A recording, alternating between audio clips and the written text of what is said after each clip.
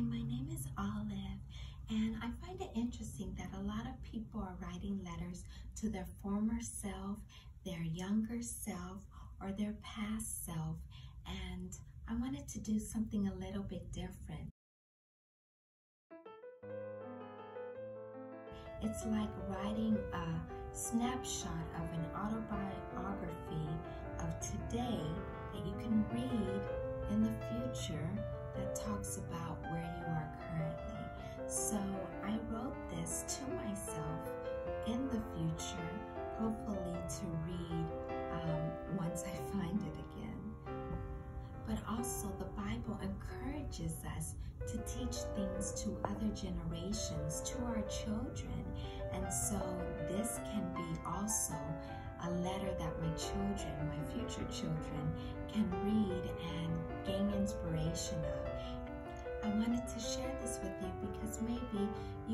something similar and write a letter to yourself talking about where you are now and rereading the letter. Maybe it can give you some uh, some insight into where you are, your mental health and your state of mind and your present being and where you would like to be.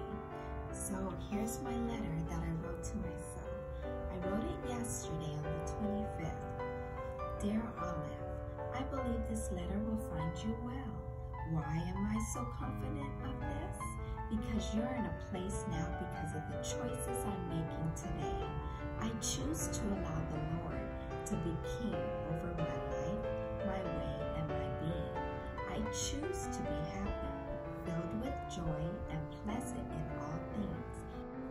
I choose to create beauty around and among myself and loved ones. I choose to keep learning, polishing, and elevating my skills. I choose to reflect the love of Christ that He gave to me and shared with me. I believe you are flourishing in a beautiful land surrounded by many fruit trees, mountains, rivers, and greenery.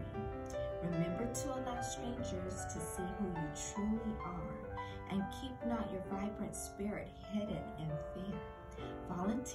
To teach others what you have learned and deposit your gifts in those deserving and accepting.